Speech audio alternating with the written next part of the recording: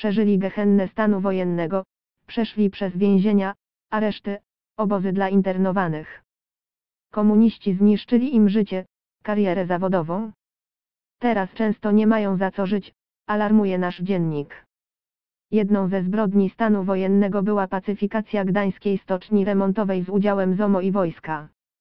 Przeciwko strajkującym wysłano czołgi.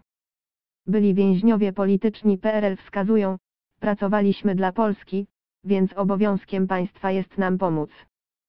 Nie chodzi o to, żeby się dopraszać, tylko żeby zadośćuczynić za krzywdy, tłumaczy Janusz Olewiński, przewodniczący Ogólnopolskiego Stowarzyszenia Internowanych i Represjonowanych.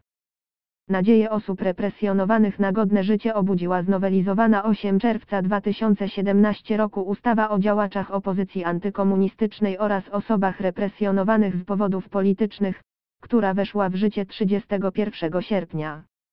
Przyznawany każdemu, kto ma status działacza lub osoby represjonowanej, dożywotni dodatek w wysokości 402 zł jest dużym wsparciem skromnych nierzadko budżetów. Byli represjonowani alarmują, że pojawił się problem z interpretacją ważnego zapisu ustawy.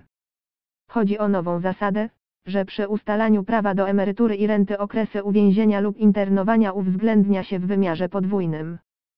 Czyli nie według wskaźnika 1,3, lecz 2, 6.